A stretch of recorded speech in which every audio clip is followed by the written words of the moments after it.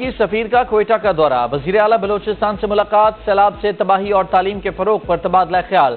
Donald Bloom ने पौधा लगाकर शजरकारी मुहिम का हिस्सा लिया।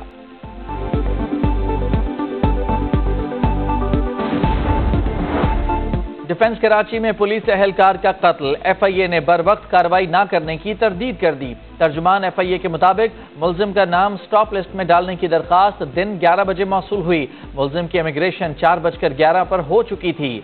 दरखास्त में पाकिस्तानी पासपोर्ट की तफसीत दर्ज